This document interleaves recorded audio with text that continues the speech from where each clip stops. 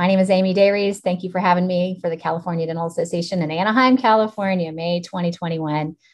Um, the title of our topic is Integrative Dentistry Five Topics to Have, Conversations to Have from the Dental Hygiene Chair, or really any dental chair, any dental setting every day. I think it will change your practice. And I'm going to start today by reading a poem by David Whyte. It's called Start Close In. And I think it really gets to the crux of the matter that I hope that you'll be able to embrace when you get back to work on Monday. Start close in. Don't take the second step or the third. Start with the first thing, close in, the step you don't want to take. Start with the ground you know, the pale ground beneath your feet, your own way to begin the conversation. Start with your own question. Give up on the other people's questions. Don't let them smother something simple. Because to hear another's voice, to follow your own voice, wait until that voice becomes a private ear that can really listen to another. Start right now take a small step that you can call your own. Don't follow anyone else's heroics. Be humble and focused. Start close in. Don't mistake that other voice for your own. Start close in. Don't take the second step or the third. Start with the first thing. Start close in. The step you don't want to take by David Whyte. He's an Irish poet, but he lives in the Pacific Northwest and he was a marine biologist before he became a poet. And I want to share that because these conversations for you at your dental office may be new. Your patient base not, may not understand why you're talking all of a sudden with them about whole body health and how it relates to dentistry. So you may be finding yourself re educating yourself, your team, your family, and your patients on the role of a dentist in the modern day practice. Integrative medicine is taking the world by storm. It's really a melding of Eastern and Western medicine and having a respect not only for different ideas, but also holding space for how the patient wants to be treated. It's our responsibility to understand what is going to be good science. And when a patient wants to do something, to be able to, again, hold that space, respect how they want to be treated, but also be able to advise um, or know where you can go to for resources to see if that is going to be a helpful idea, a helpful healing idea when they come to you. And the dental office is such a great place to have these types of conversations because 90% of us are small businesses still in America. A lot of po- folks will see multiple generations of the same family, and we see the same patients year after year, potentially for decades, because we are that small family business. And a lot of folks have medical insurance that switches around from year to year, or they don't have medical insurance this year. But a lot of those patients come to us before they go for that job interview so that we can get their smile ready and help them do their best work when they go for that interview. If we can incorporate some of the ideas I'm going to present to you today, I believe we can really save our healthcare system a lot of money. Um, they have done some studies on how much money can we save. It's it's in the billions of dollars, truly. And you know, when we see people generation after generation, we can see trends in families. We can see um, the history, and we have more time a lot of times with people and it's for a lot less cost than what a lot of people are going to spend with the doctor. And the timing that consistency of care is really key that our profession can offer. You're going to see some whole body health techniques and advice in today's lecture that i believe you'll be able to share um, with your family, your team, and with all of your patients. So, the five conversations we're going to talk about today are number one, teaching good health numbers to appreciating gene SNPs, gene SNPs, that's single nucleotide polymorphisms. Three, explain and appreciate the relationships between emotional health and dental health. Four, talk about diet and lifestyle with your patients. And five, talk about sleep and sleep appliances with your patients.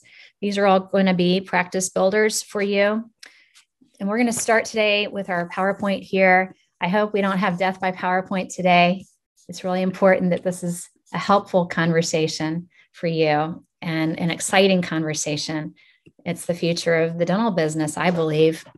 So, I did an integrative medicine fellowship a few years ago with AIHM, which is located out of San Diego, um, Academy of Integrative Health and Medicine, and they do allow dentists in their two year integrative medicine fellowship.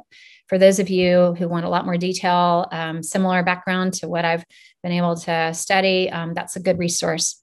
Um, but I have no uh, monetary affiliation with them. I just I just think they do a great job. Um, so an integrative approach to dentistry, connecting whole body health and the dental hygiene chair. And we're going to briefly talk about some of the connections that you all might already be aware of about how oral health is related to, to systemic health. And then we're going to get into the meat of these five conversations. We know that the mouth is part of the gut, and about half of the bacteria in the mouth is really found throughout the gut. And when the mouth is inflamed, it's really a window into the overall health of the body, just as the eyes are the window to the soul. And most systemic diseases do indeed have visible signs in the mouth.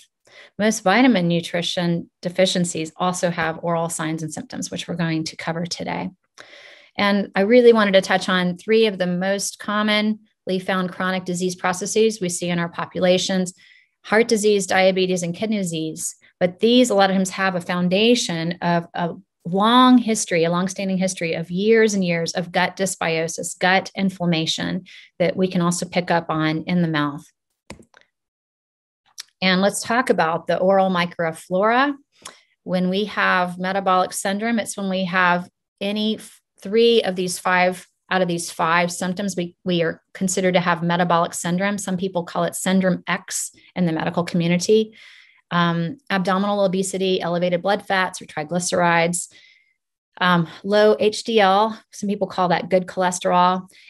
HDLs are the high density lipoproteins that help act as scavengers in our bloodstream and pick up and get rid of toxins and things you don't want floating around your bloodstream. Um, when we have low amounts of that, we're more prone to develop metabolic syndrome. When we have elevated blood pressure, and the blood pressure standard has actually gone from being considered high if you're over 120 over 90 to 110 over 80. So, our standards of what we realize are going to be helpful for the long term health of a patient are changing. So, knowing good blood, good numbers are going to be helpful. Um, understanding the effects of elevated blood sugar and this is something else that you can look for in the dental chair very easily when you have a patient with bleeding gums. And we'll talk about that in a minute. But the seed of all these chronic disease processes really lies in the gut, where about 90% of our immune system cells are. And we have been familiar with the fact if you have an apple or a pear figure, that might set you up differently. Folks that have more of an apple shaped, or in, in, other words, visceral or, or belly fat, they are more likely to develop metabolic syndrome if this is where they put on their weight um, versus a pear shaped figure. Waistlines, therefore, of men over 40 inches and women over 35 inches are uh, an indicator of this um, visceral body fat. But you can also have um, skinny fat, or in other words, sarcopenic obesity, where somebody looks skinny, but that doesn't mean that they don't have these elevated triglycerides or low HDLs or blood pressure issues or high blood sugar issues. So it's still appropriate to know what the good healthcare numbers are and not just judge somebody based on their on their body type. Um, the microflora of the body again 50% of what's in the gut is found in the mouth. Those really influence um, how we process process fats and sugars. Um, they even process what we might want to or influence how we want to eat or what types of foods we're craving. And they influence um, how we're going to think about a lot of things. So we have actually some meta some medical research that supports what they call the old friends hypotheses. When we build up better um, types of bacteria or certain strains of bacteria, we are less likely to develop chronic disease because we have been in symbiosis, a symbiotic relationship with these for millennia. And when we start developing oral problems such as gum disease or cavities, this is where we're starting to see that dysbiosis happen in the dental in the dental practice. And these dysbioses are these uh, the absence of the better types of bacteria it's like having gangs move in to your mouth and to, your whole uh, gi tract. And the things that influence that oftentimes occur with these chemical con- chemical changes or dietary choices. When we have more um, sugar intake alcohol intake or the consumption of a lot of our grains that we've grown with weed killer, um, those have influenced how our gut changes and who seems to survive living in our gut. For every 10 bacteria cells that we have in our body, we only have one human cell. So it's not about what we've realized is it's not about killing off all the bacteria in our bodies anymore. It's about how do we promote the growth of the better bacteria because somebody's going to be living with us inside of us. And so, how do we get our friends to live inside of us? When we have an absence of our better friends in terms of bacteria, we are going to see an increase in inflammatory chemicals such as C reactive protein and interleukin 6. And these types of chemicals can, pros- can be floating around our bloodstream literally for years and they can actually have been um, attributed in the medical research to even contribute towards people suffering from depression years and years and some later. And sometimes these can also be caused by emotional upset. So later in this lecture in these good health conversations you're going to see how adverse childhood experiences seem to um, influence the, the development of these chemicals the circulating of these chemicals in our body. Meanwhile what we are realizing from medical research is that we have a, a huge increase in autoimmune disorders that are happening. This also happens from leaky gut or this dysbiosis happening in the gut, where the tight junctions in the small intestinal walls start to break down and allow a, from the passage of the intestines into the bloodstream um, certain bacterial parts, uh, and some of these inflammatory chemicals, such as C reactive proteins and interleukin 6. And there's other chemicals too, but those are some of the more well studied chemicals. And we're seeing with that an increase in these autoimmune disorders like asthma, diabetes, Crohn's disease, and multiple sclerosis, amongst others. Parkinson's is another one.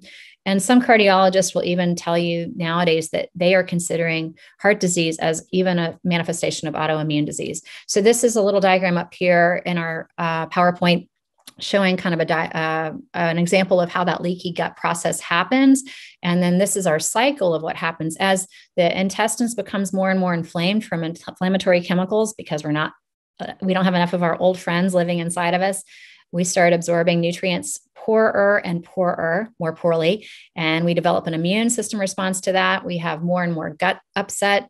20% of our American population now has IBS, irritable bowel syndrome types of symptoms. Um, some of those develop into more serious problems long term, like celiac disease or even Crohn's. Crohn's does have a genetic um, background or, or um, link to it. And we have linked these directly to the um, consumption of wheat, corn, dairy, sugar, alcohol, ibuprofen, overuse of nonsteroidal anti-inflammatory drugs, processed foods, um, the use of antibiotics, and bacterial or yeast overgrowth.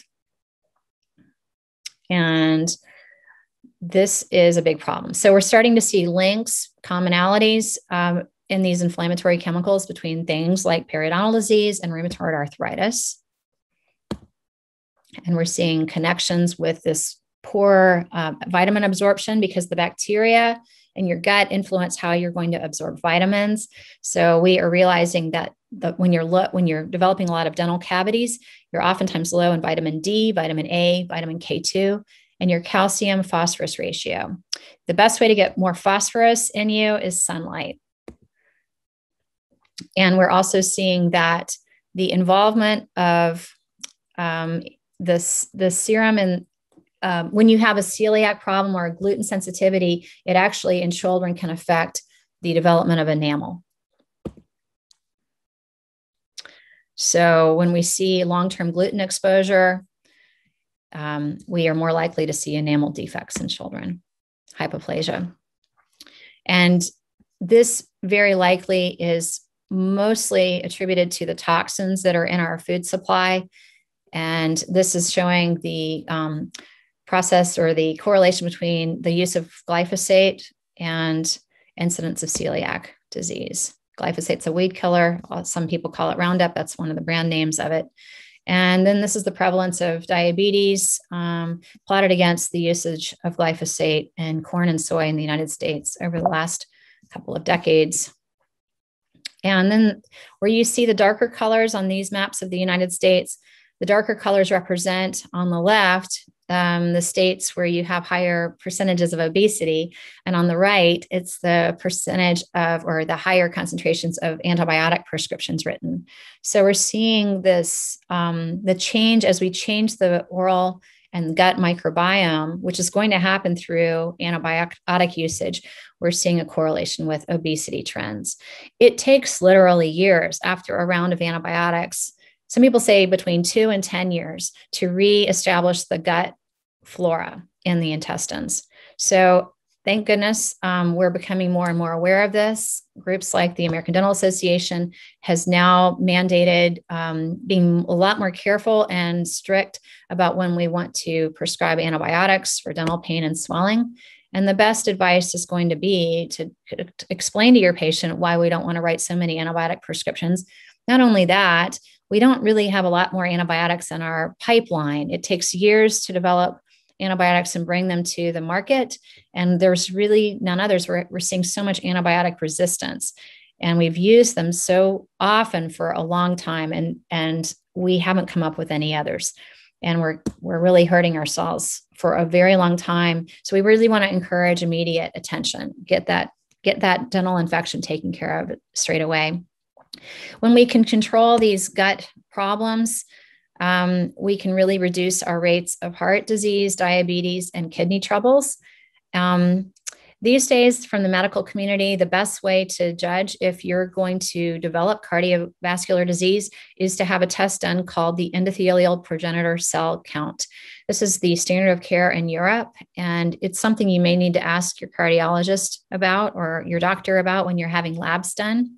Another sign and symptom of somebody who's very likely to develop heart disease is a wrinkle in the earlobe. So that's something that's easily witnessed from the dental chair.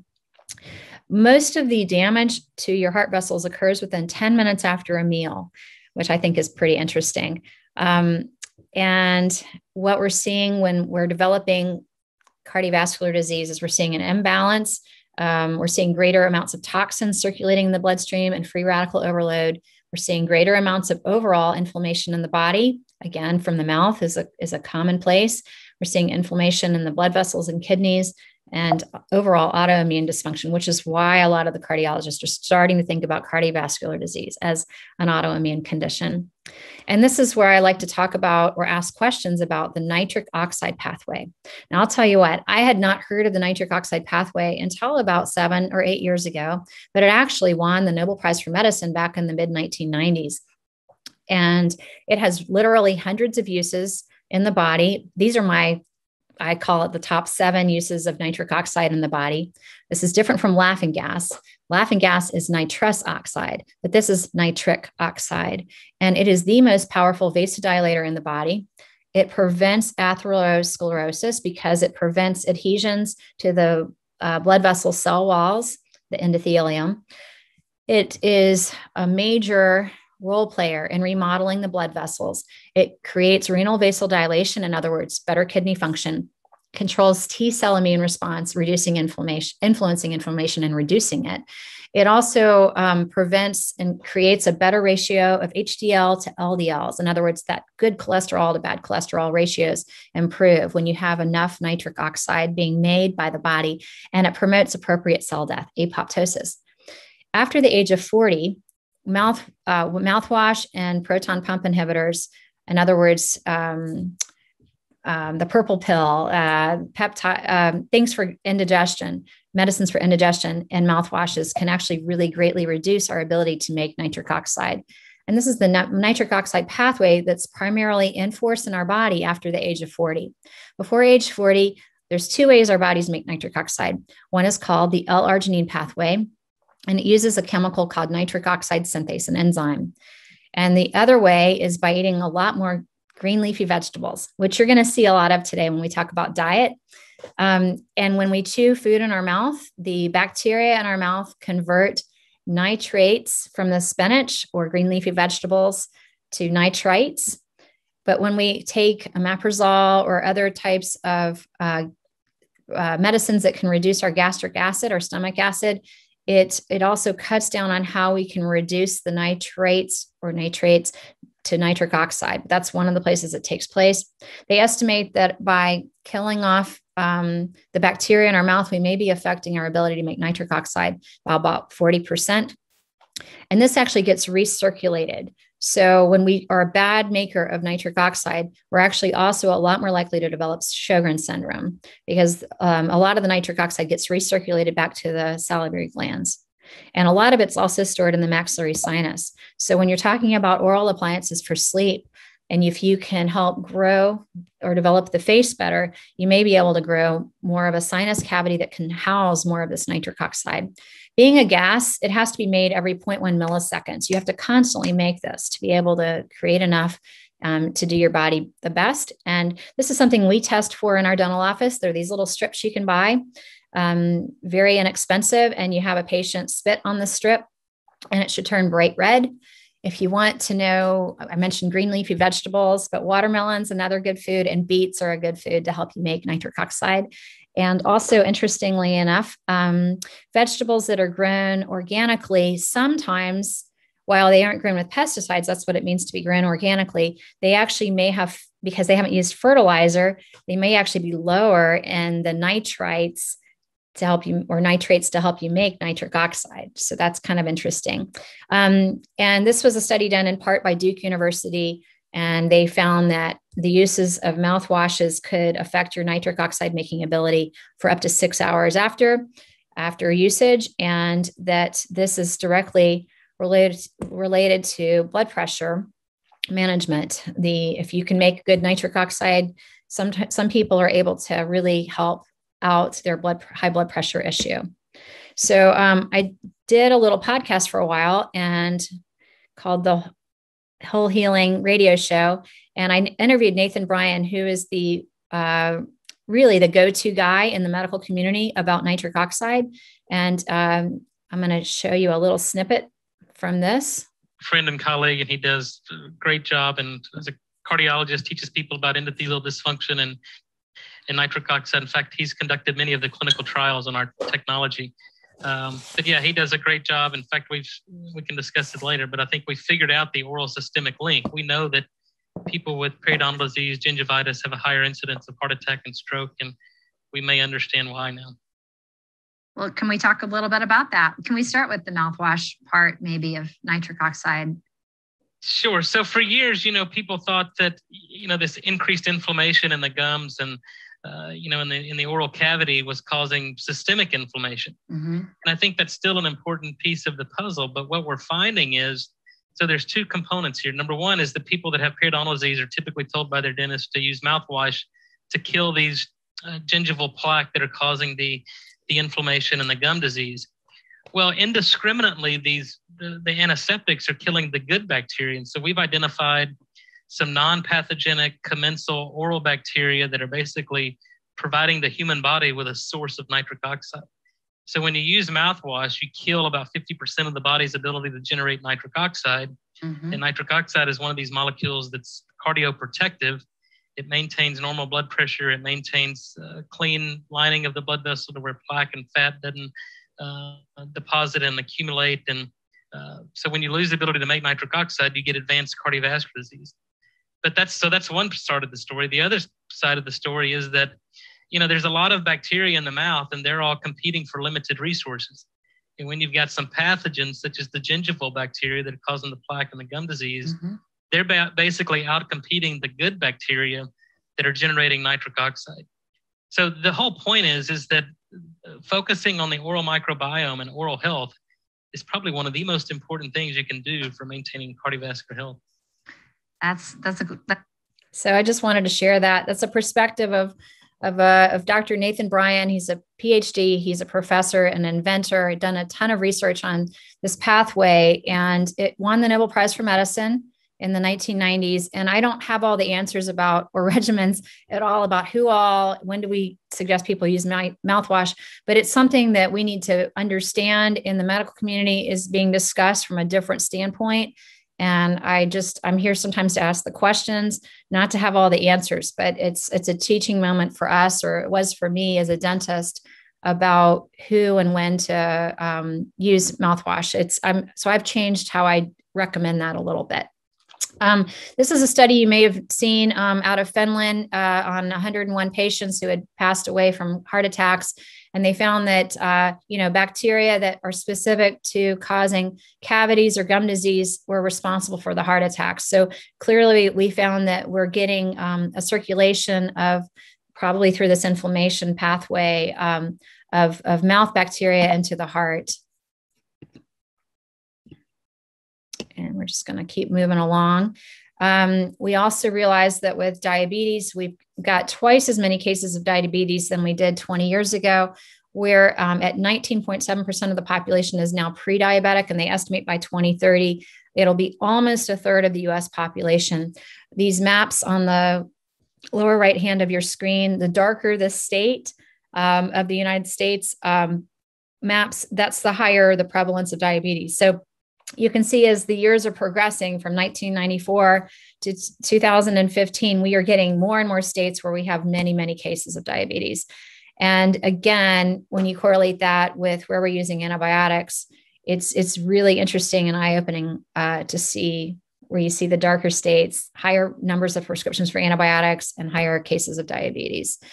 And we understand that there's protocols um, for dentists and correlations with diet and lifestyle for diabetes. I don't want to harp on that so much today because we want to have these five new conversations. Some of this I believe is review, but I still wanted to touch on it. Um, I could really stop, talk for hours and hours, but we we want to keep this alive and moving here. So um, I will say the American Diabetes Association has linked uh, that there's actually fatty acid changes, there's changes in inflammation and in the blood in the bloodstream years and years before you get the diagnosis of diabetes. So all of these things link back to who's living in us. Again, there's 10 bacteria cells for every human cell.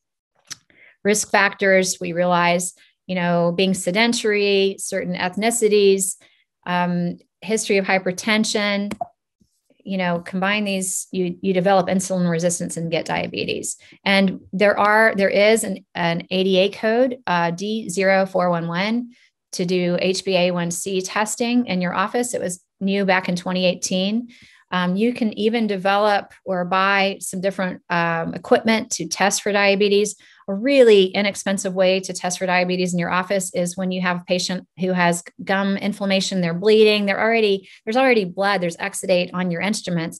You can actually dip that uh, or have a, a, disposable dipstick and dip it into one of these little contraptions. Um, it's it's relatively inexpensive, and the dipsticks are pennies on the dollar.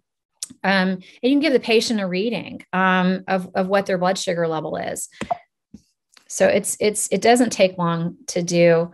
Um, and it's really an informative way. We can be a dot connector in the dental office for overall health conditions. And you know what? When when you start having these conversations with people and you connect the dots for them, they really appreciate it. You're looking out for them. They're going to value coming into the dentist, and it's your practice is going to grow. That's what I believe you're going to see.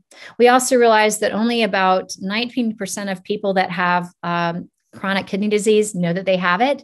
And a lot of those patients, almost 40% of them, already have diabetes. So, kidney disease is another manifestation of when you have a gut microbiome, an oral microbiome that's been out of whack for a long time, and you develop chronic kidney disease or a chronic disease process that ultimately you'll probably pass away from a lot of these people with chronic kidney failure um, are on dialysis. They should be on dialysis. In the dental office, there is a protocol where we see them the next day after they've had dialysis. Oftentimes, they have been um, on an antibiotic uh, um, therapy before they come in, and they oftentimes have different oral manifestations that point to chronic inflammation, TMJ issues, a swollen tongue, mouth ulcers, metallic taste, dry mouth. They're, they're having a lot of trouble. And so we want to see them the day after dialysis. They may be on antibiotics before the dental treatment, work with their physician. And a lot of times their calcium and phosphorus levels are low, as you would have if you had cavities. And so, again, just to sum up, we, we see there's a lot of chronic disease processes that have been linked to gut microflora. And so that's why the future of dentistry, in my mind, is to have these five dental conversations, teaching good healthcare numbers, appreciating gene SNPs, explain and appreciate relationships between emotional health and dental health, talking about diet and lifestyle, and talking about sleep with your patient. All of these are going to be linked to conversations about how to have better oral health. So, if you print out our handout, we have a lot of these graphs coming up, and the handout they can be used as a reference page or pages, I should say, for your office. But having a familiarity with what is current in terms of numbers as I mentioned, for example, high blood pressure used to be 120 systolic over 90 diastolic, and they've lowered that in the medical community to 110 over 80 as the ideal standard.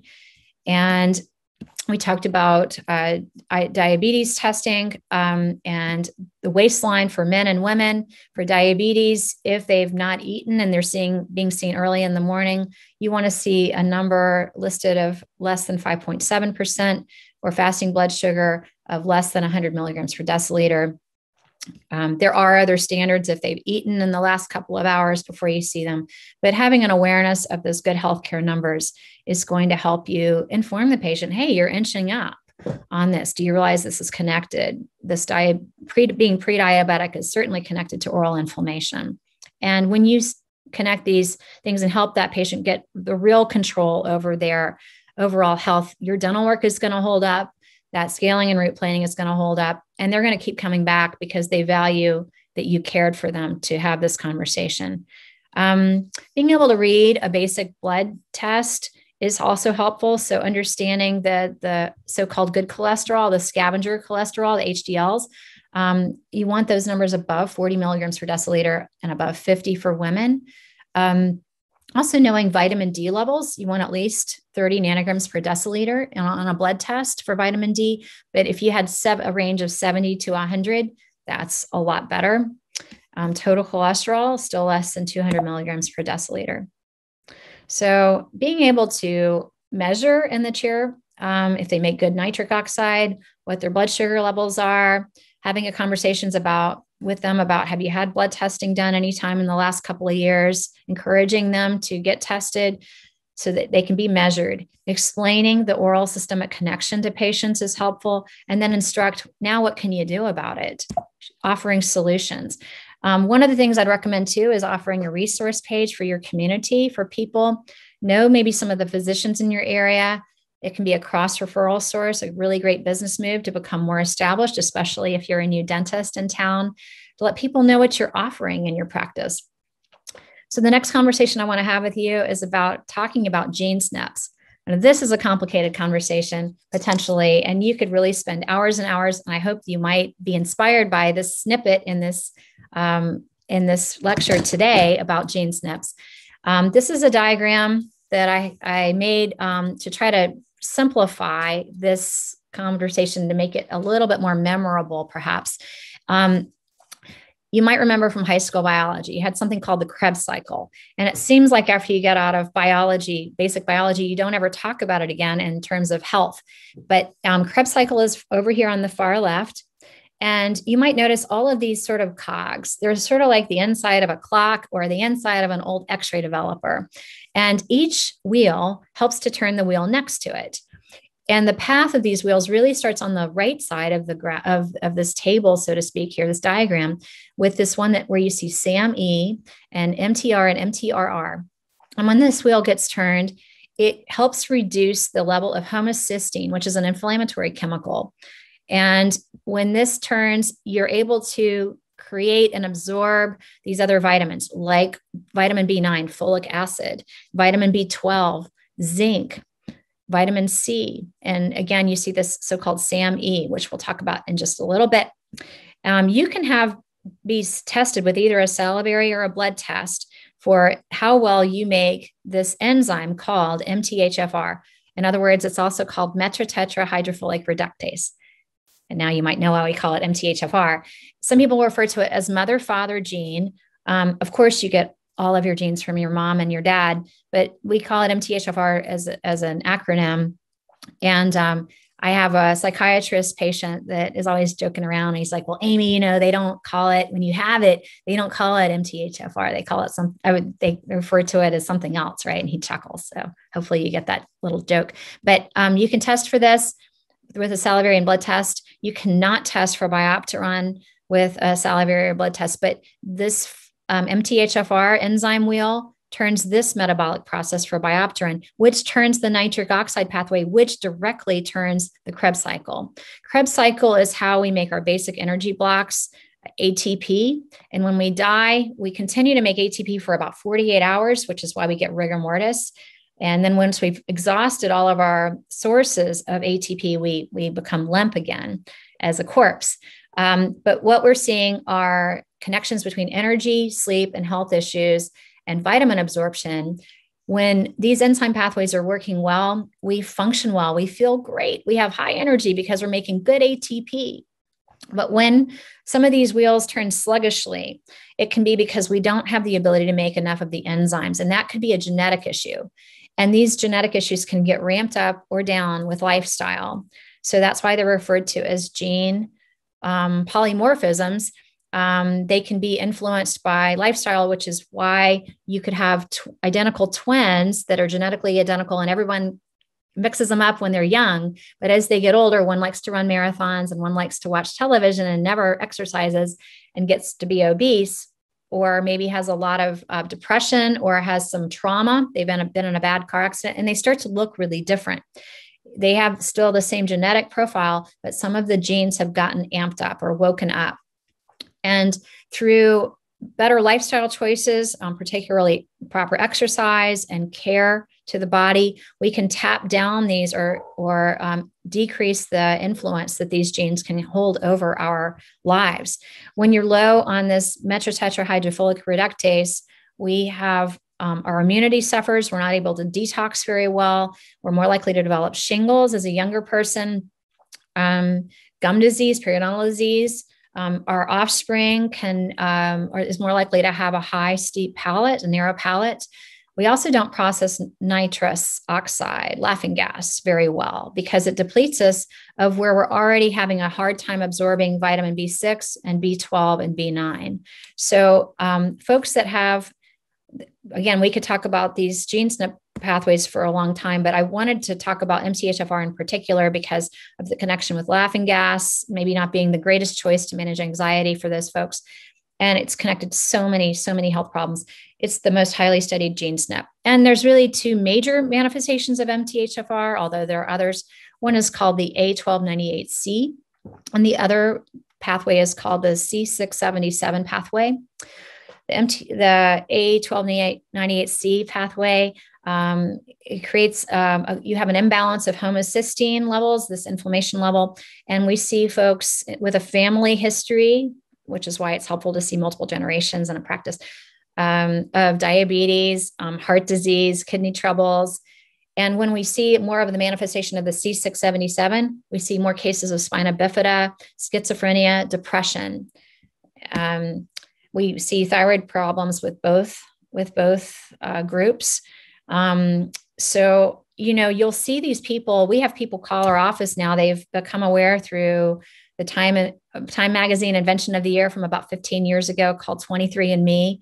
Um, or they've been tested by their doctor and they may be taking a lot of supplements. So I want you to have an understanding of why they're concerned. Um, they want to know what you're going to do because they have MTHFR. So I want you to be familiar with what that is um, because they're concerned. They've they've usually suffered some health issues. They've gone and gotten tested to get to the bottom of their rabbit hole.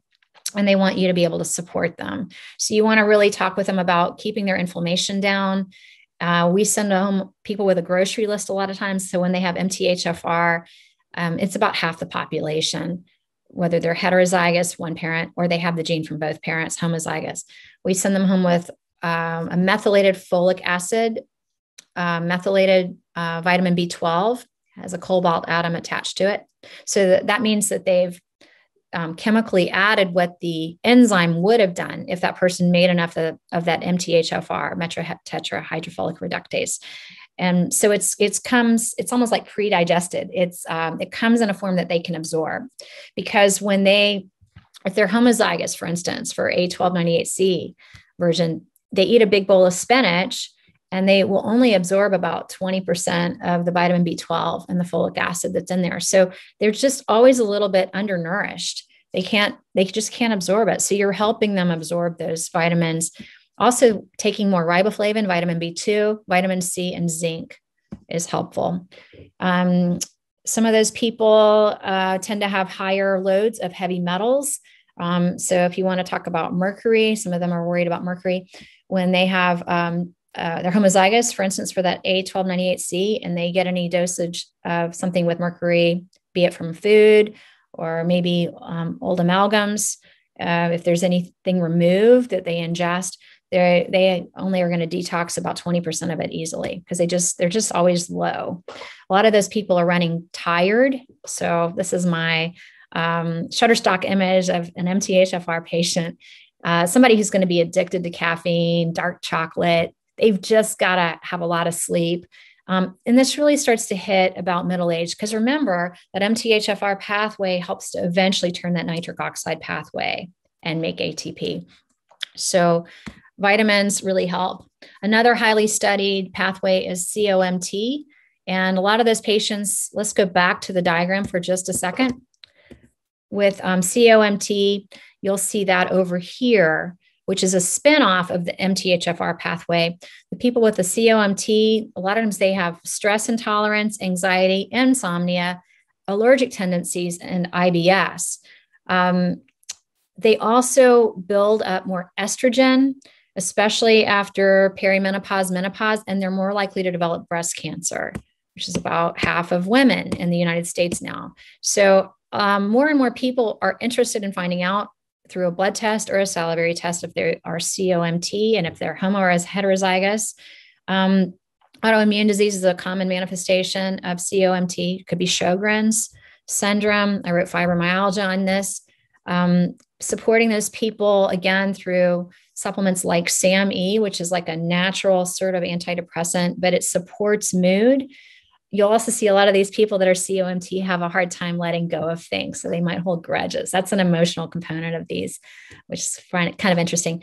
Taking magnesium, vitamin D, um, N-acetylcysteine, and these can all help manage their moods and, and support and lower inflammation um, because you're helping to throw off that homocysteine imbalance that can can be pre-existing. Um, there's other pathways like MAOA, MAOB. These are people that don't process um, sulfur in foods very well, more of a tendency to have curly hair. And they're more likely to fight depression and not sleep well. So, you know, you have people that um, don't sleep well in your practice, and maybe they should wear a night guard because they're grinding, but maybe they have these pre-existing gene SNPs. So you can start putting together a package of, of who really is in front of you and how can you best support. Because you just, if they're going to invest money in some of these things, you want to make sure that you're really supporting what they what they have. So um, you know, here's another person that doesn't make nitric oxide very well and they have MTHFR. So, you know, a solution for some of these people are going to be maybe taking Neo 40 tablets as an over the counter for for gene um, if you don't make nitric oxide well, or encourage them to eat more green leafy vegetables. But that guy is MTHFR, so he might do well to also supplement with a vitamin B complex that's methylated, vitamin C, and also zinc.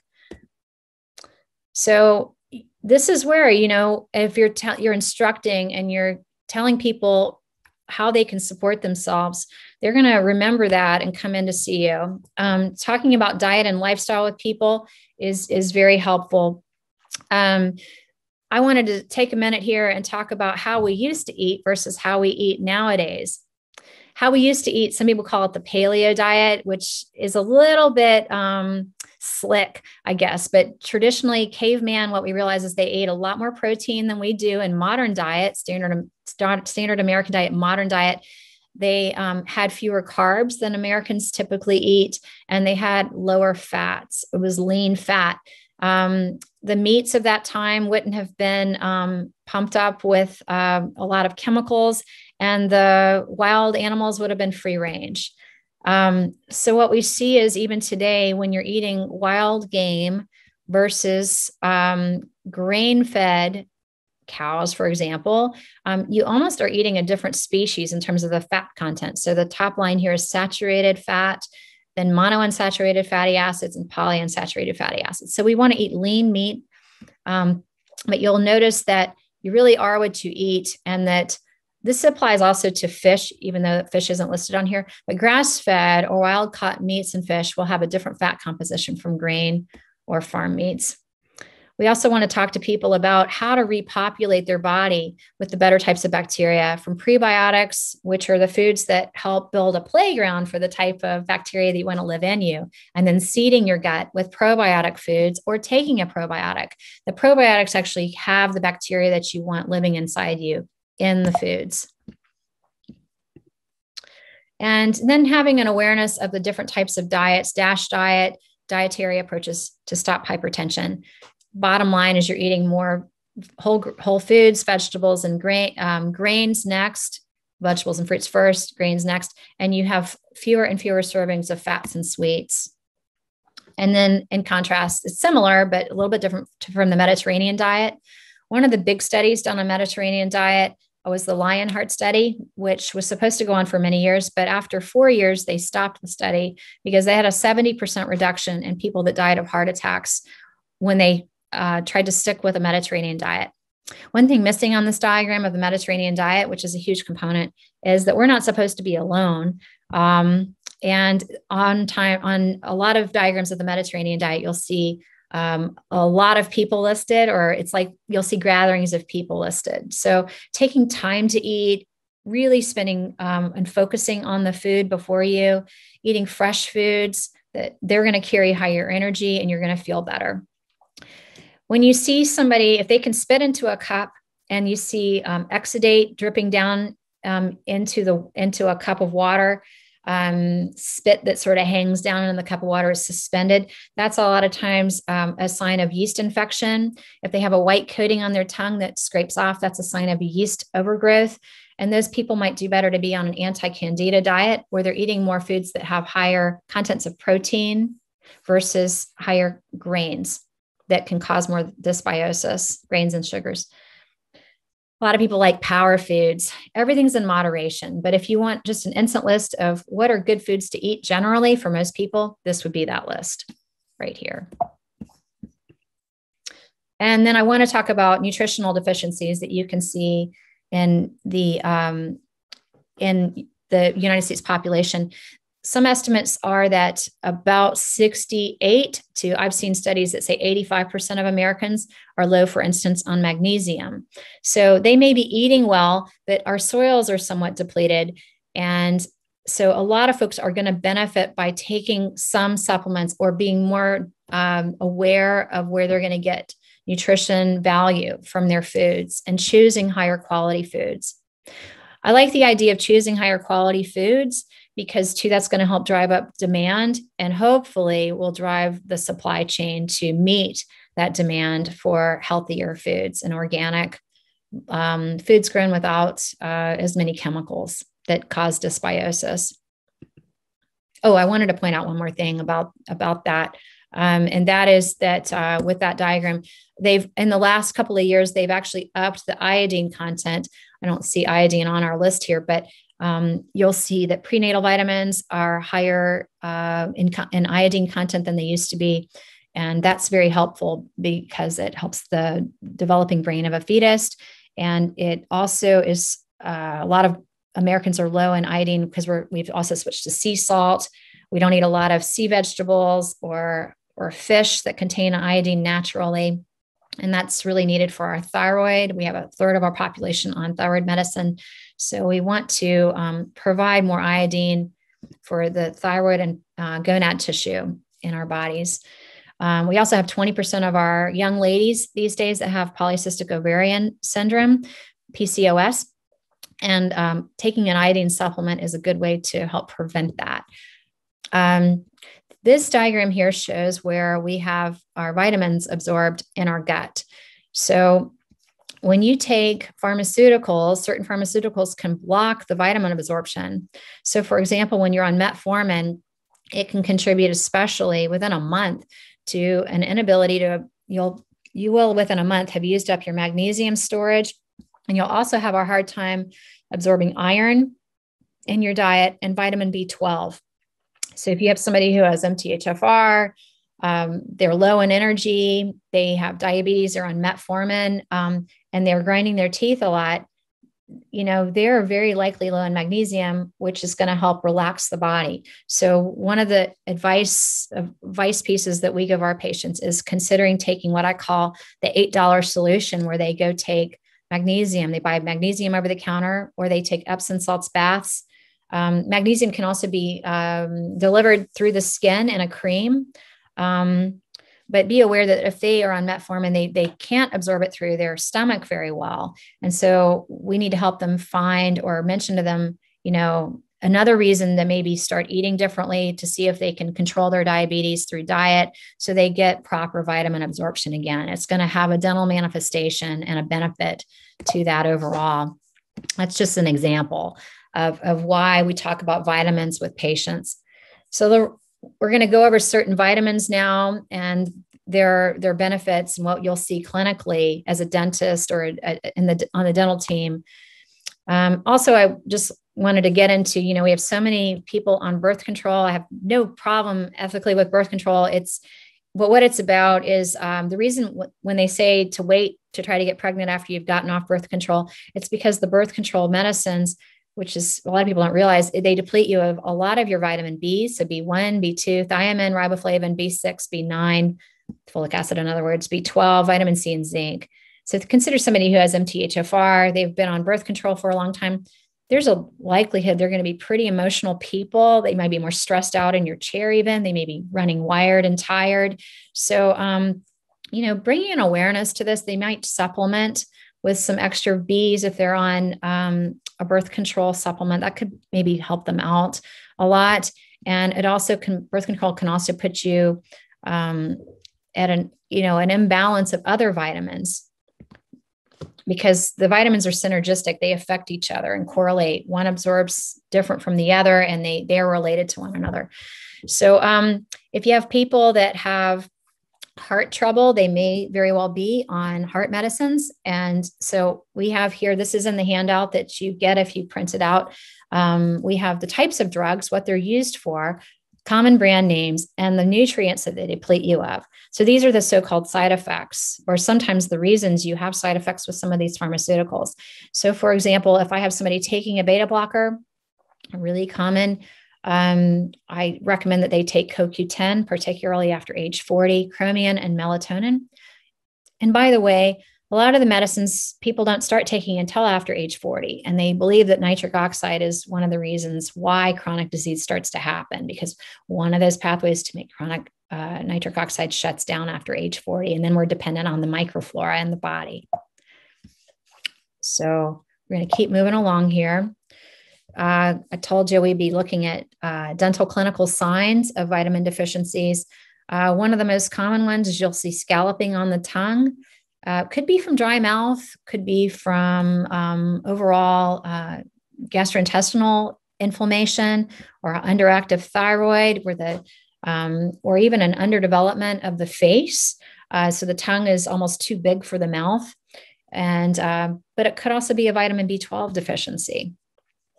Other signs and symptoms of the face, we talked about the earlobe earlier, but you could also have um, uh, blowing up of the infraorbital area under the eye area, and that's a chronic sign of, of inflammation and swelling. Um, here's that earlobe again. Also, if you have xanthelasma, those are those little yellow deposits in the eye. So these po- people ask them, are, are you seeing a doctor? You may need to see a doctor because there are potentially some signs and symptoms I'm seeing here that, that there may be something to know about that. So if you haven't been in a while, you you can just gently encourage people to, to see their doctor and get get routine blood testing done.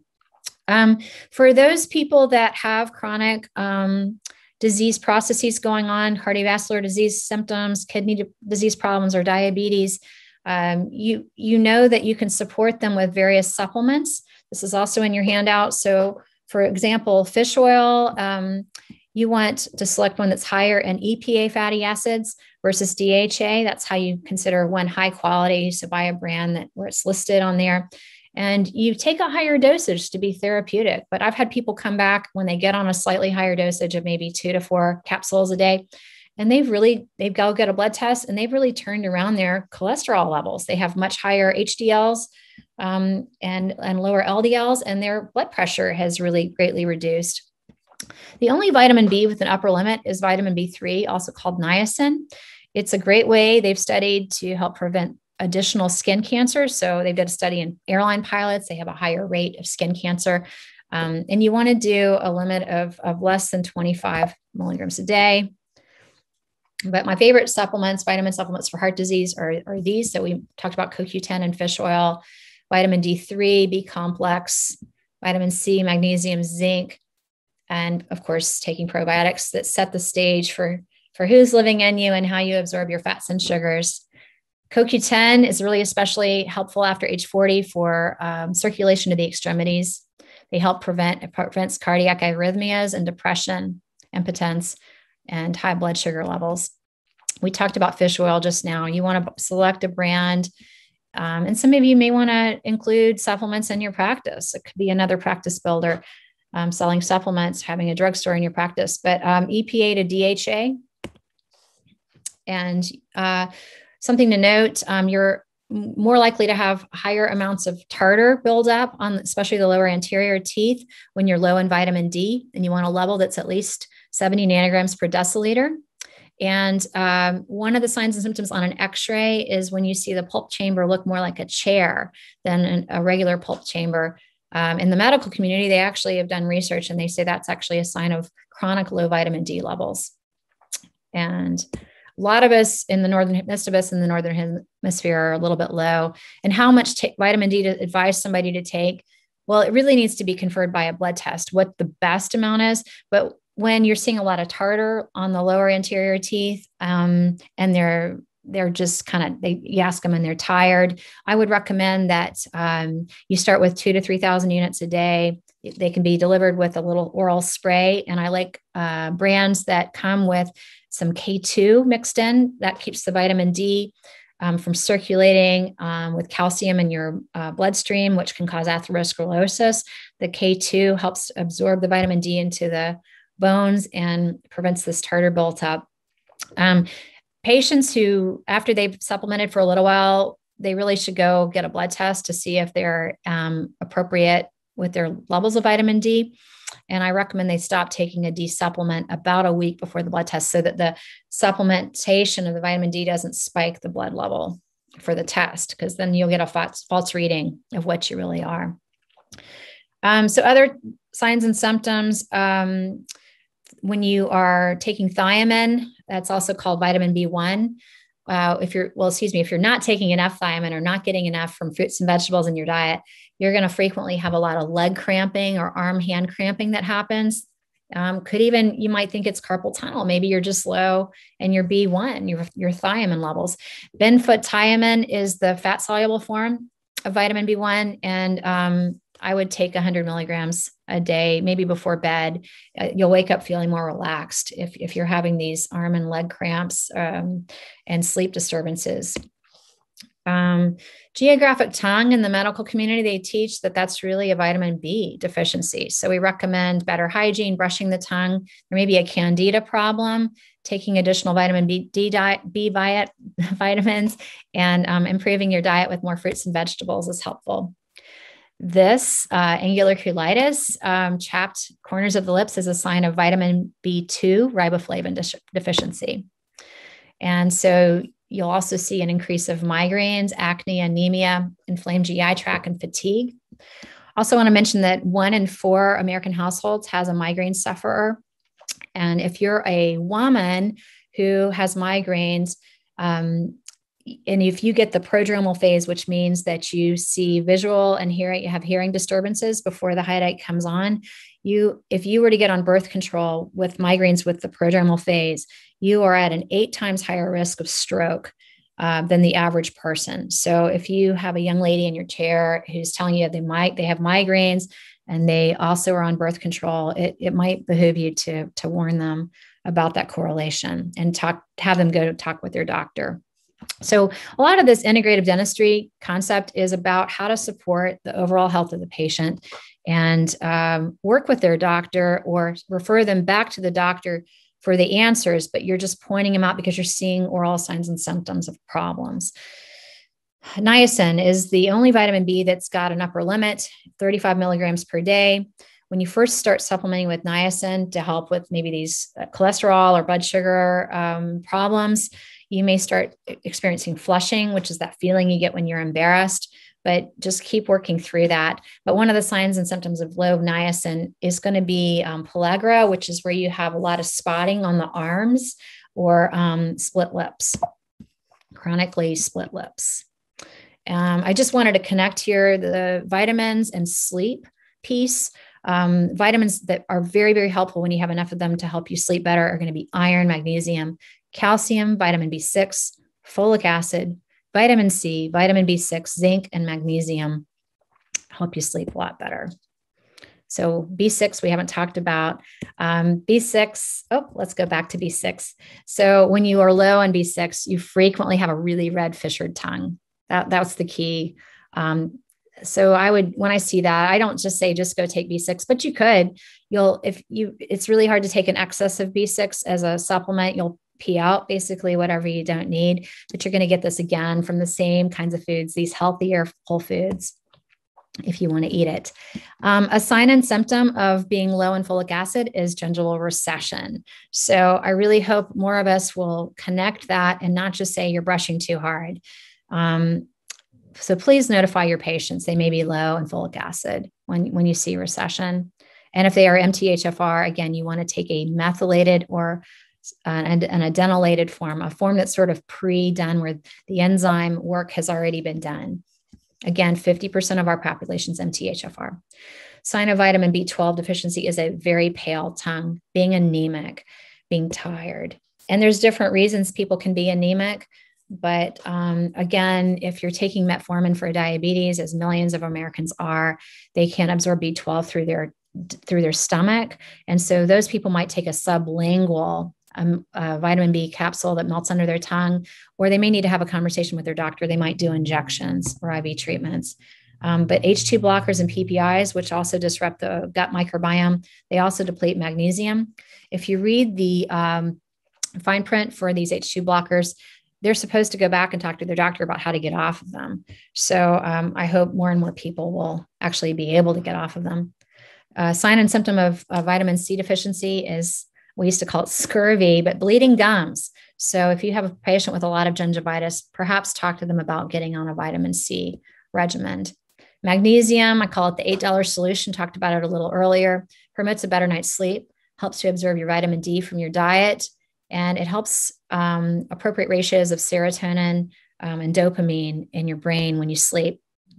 Symptoms of low, of low zinc or brittle nails, hair loss, dry skin, and bad sleep again. So, um, also underactive thyroid and inability to smell or taste, which, by the way, is also linked to coronavirus. So, uh, supplementing with zinc, some people feel is very helpful. They did do a study on Chinese school children about uh, 10 years ago and found that those kids were a lot less likely to develop colds if they chronically supplemented with a zinc compound. Um, so when you're taking synthetic hormones, this is uh, a, a, list of vitamins and supplements we might suggest that you consider. Looking at appropriate amounts of calcium and magnesium also helps with sleep and with building and uh, maintaining bone structure. Supplementing to reduce blood pressure. We've kind of touched on this with our chronic uh, heart troubles, and we had a chart that's in your handout. But um, reducing mouth inflammation through better oral hygiene, fish oil, probiotics, and eating well, like that dietary approaches to stopping hypertension and exercising. Exercising is key. Uh, supplements for osteoporosis, similar to uh, hormone therapy for women. And um, we're, I want to get on sleep, but um, when we're talking about fluoride, um, fluoride competes for iodine um, in the body. And so, because it's a halide chemical, as is fluorine, chlorine, bromine, iodine, and the body's cell membranes, the tissues that need iodine, don't really discriminate between iodine and fluoride. So, if you've got somebody with polycystic ovary syndrome, if they have dental fluorosis, um, they have a history of cancer, they have a history of um, torn ligaments. Those people might do better to um, supplement with additional iodine. BPC 157 is a peptide. You might have heard of peptide therapy. Uh, they started doing peptide therapy back in the 1960s in Russia, but some of this has made it over to the United States. You might talk with a compounding pharmacist in your area because BPC 157 is a peptide that has been uh, studied and shown to help control inflammation. So, if somebody with gum disease, you might ask uh, your compounding pharmacist how you might help them if you're looking for additional solutions to deal with gum disease about taking that peptide. It can be injected, um, the patient can inject at home, um, or they might even have it put into a toothpaste. The toothpaste is a little pricey. I wanted to talk about emotional health and meridians. Um, Two thirds of the world, or a lot of the all the people that live over here, um, believe there's a connection between um, meridians, emotions, and teeth. And um, they study, um, for instance, this is the gallbladder meridian. If you have an ankle problem, it can actually be manifested as additional jaw pain. And this is why, because when you strip, they've done um, dissections of the human body. Um, it's like when you peel chicken off of a bone, it, the meat tears a certain way. The fascia strips off the bone a certain way. And so this is how we connect, make these connections between, you know, something going on, a foot problem, and additional grinding or clenching around the mouth um, and a history of an injury. This is the small intestines channel, and you'll see um, connections with the masseter and sternocleidomastoid. Um, a lot of times, uh, this is Dr. Jimmy Wolleman. He's been one of my teachers. He's out of Australia.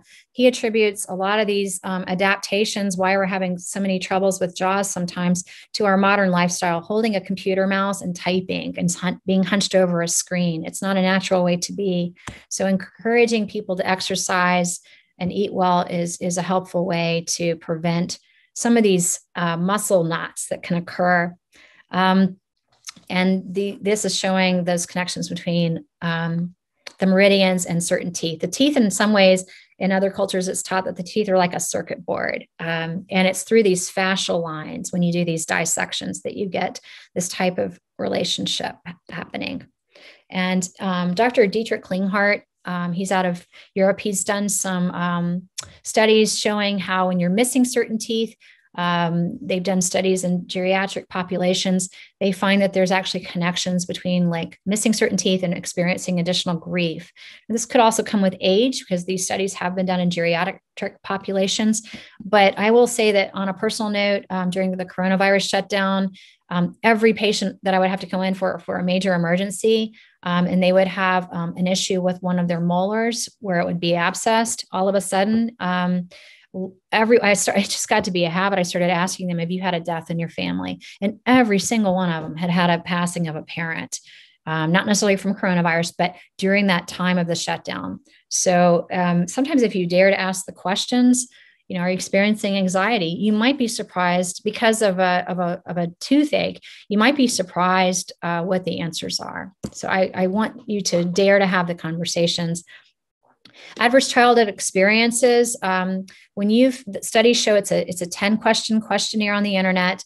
It's things like um, I saw one parent hit another. One of my parents was jailed. One of my parents was um, an alcoholic um, children, when they have these experiences as a young person, studies show that even 40 years later, they have more trouble sleeping.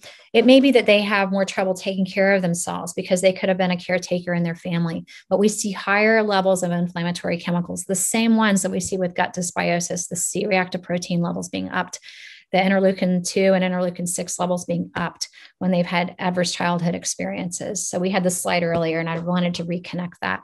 And then I want to spend the last few minutes talking about oral sleep appliances with our patients. Um, when we develop the face with our new functional dental appliances, that are out on the market. And there's a lot of different tools that we can use in our toolbox. We can help correct um, some of these troubles that we've seen that are linked to oral sleep apnea. We might use a laser to do a tongue tie clipping. Um, we might help expand a palate and now we have greater room with the facial development of the maxilla and the bringing forward of the mandible. So we have less incidence of the scalloped tongue. We realize that 85% of oral sleep apnea is undiagnosed. And the dental office can do sleep testing most in most of our states just actually all of our states. Um, some states, Georgia, where I'm from, is one of the states where we need a medical doctor to sign off that the patient's getting sleep tested at the dental office. We don't do it at the office. We send patients home with a take home test. and you can be a doc connector um, work with your local ents it, this is maybe not even a dental appliance that's most appropriate for the patient it could be that um, it could be they need a cpap but patients that have a cpap which has been the gold standard for sleep apnea um, if they have asthma or um, a lot of fluid chronic pulmonary um, uh, uh, dysbiosis or um, barrel shaped lungs, they actually are not good candidates for a sleep app for a CPAP. They would do better with an oral appliance. Um, when you have oral sleep apnea, you have the same increased inflammation load of these same inflammatory chemicals. We see increased rates of ob- obesity, insulin resistance, and hypertension, and sympathetic nervous system activation. Um, 100 years ago in the literature, we didn't see an anterior open bite that we see now. Um, so these things can be corrected with these oral functional orthodontic appliances. We see with our latest technology, the cone beam x-ray, an opening up of the airway when we work with these types of appliances. Oral myofunctional therapy can also be an adjunct. Um, I work with a team of people. Sometimes it's a doctor, sometimes it's chiropractors, and sometimes a myofunctional therapist. And this is happens to be one of my own daughters. Three months after just doing myofunctional therapy, no oral appliance at all, but you'll see her face is really developing. And at this age, she's about 12 years old. Um, but uh, we find that oral myofunctional therapy helps the patient eat better. They're able to distribute food more evenly amongst the oral surfaces of the teeth, and you're going to get a greater development of the maxilla. We also see an improve, uh, not an improvement in the TMJ joint, but a reduction in muscle pain. And an, a oral myofunctional therapist is really like having a personal trainer for the mouth. Tongue tie release, we use a laser. This is a marathon runner that I see, and about seven months later, he's got a higher heart rate variability, which is supported with medical literature.